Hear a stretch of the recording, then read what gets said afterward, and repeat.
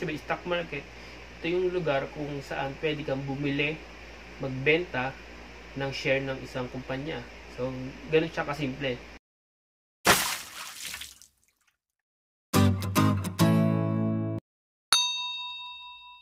So, hello guys, uh, welcome to my channel. Uh, since nauuso ngayon yung mga online-online, so, isa sa mga ginagawa ko ay yung kung paano ba kumita gamit yung online.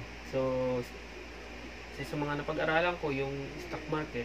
Kung marami rin nagtatanong sa mga kaibigan kung legit ba to or scam. So, yun, ipapaliwanag ko sa inyo kung legit ba o scam. So, yung stock market, yung mga Pilipino kasi parang 1% lang ng population sa Pilipinas ang nag invest dito. Yung stock market, hindi siya scam, pero ginagamit siyang para gawing ang scam. So, parang ganun pa. Kasi yung mga Pilipino, since hindi nga nila alam kung ano yung stock market, pag narinig nila, so masyado silang nawiwindang. Nawiwindang sila no, kung kung paano ba to yung stock market na to. Simulan natin kung ano yung stock market sa pangalan nito. So, yung stock market, unahin natin yung stock. Stock, ibig sabihin, parang share. Share ng isang kumpanya. So, ganun, share, share. Yung market, palengke. So, ganun. Parang ibig sabihin, stock market, ito yung lugar kung saan pwede kang bumili, magbenta ng share ng isang kumpanya.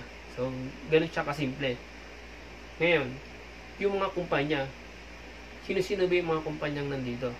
Kung paano ba sila nakakapasok dito? Bakit sila pumapasok sa stock market? So, ganito lang yan.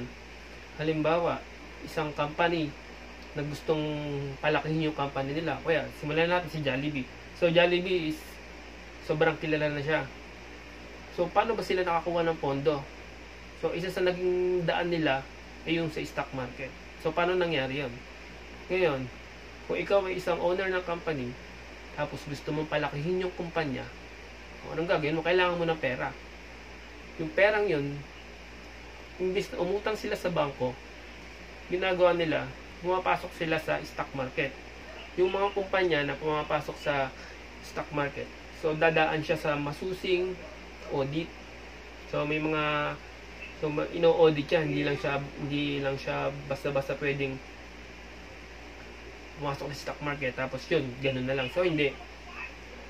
Bakit naman sila pumapasok? Ano yung magiging benefit ng company?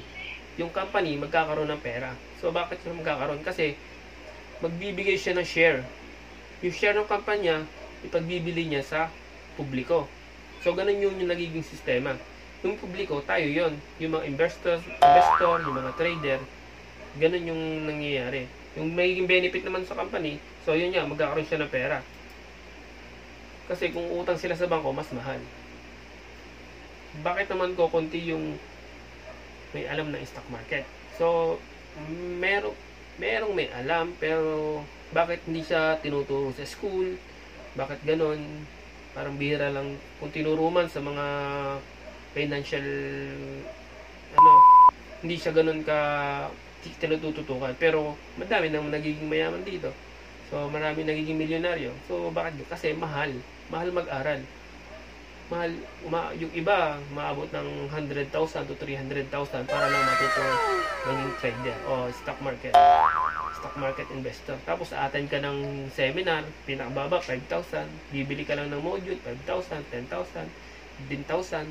Tapos, yung mga seminar, ganun din. Pinakababa, 5,000. Tapos, ang kikwento lang naman sila, sa'yo, yung mga buhay nila, kung paano sila nagsimula. So, naka, natutunan mo lang, alam, nalaman mo lang yung stock market, pero yung kung paano mag-invest dito. So, hindi siya ganun tinuturo ng libre. So, ako kasi, nag-aaral pa lang din ako, mga less than a year na akong nag-invest dito. Kaya, share ko sa inyo kung ano yung mga natutunan ko. Kaya, kung gusto niyo ng mga ganyang klaseng video, so, subscribe lang kayo dito. Then, click notification bell para updated kayo. Paano ko nasabing legit yung yung stock market?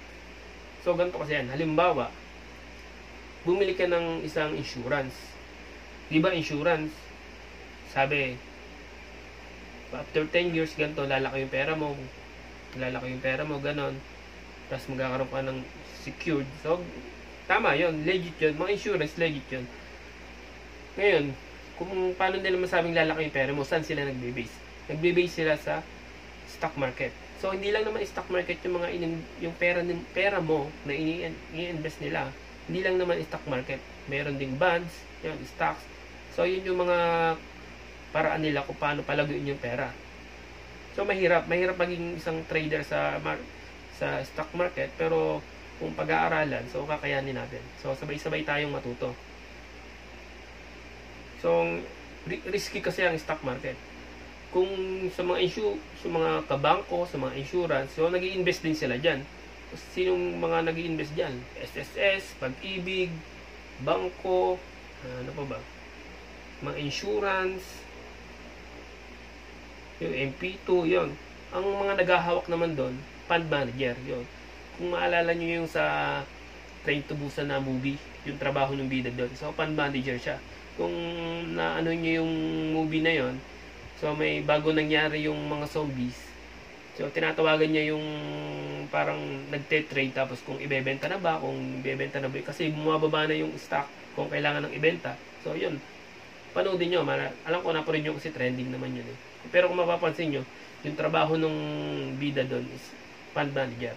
So si fund manager sila yung humahawak ng mga malalaki yung mga malalaking funds, malalaking pera, sila yung nag invest sa stock market.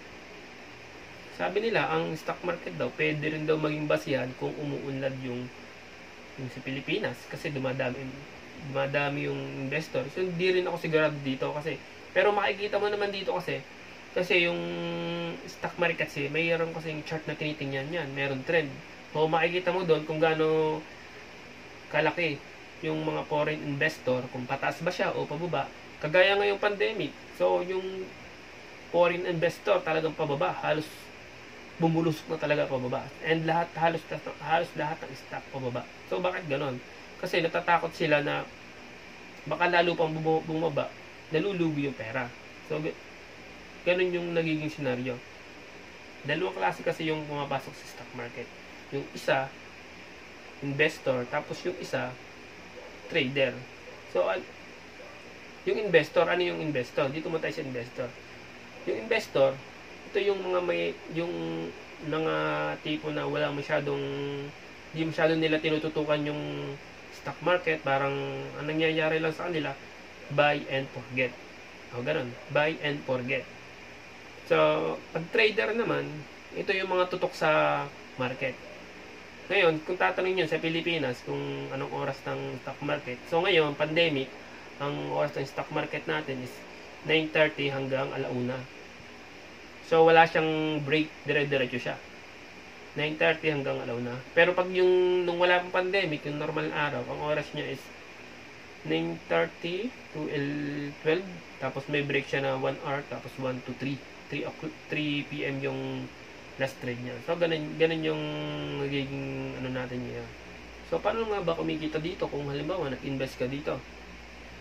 si Jollibee nung panahon na year 2000. Ang presyo lang ng share niya eh 100. Ngayon, nasa 300 na. O, kung halimbawa, meron kang 1,000. 1,000 share ni Jollibee, tapos ang presyo niya 100. So, ita times ko. Ayun na tayo sa mate.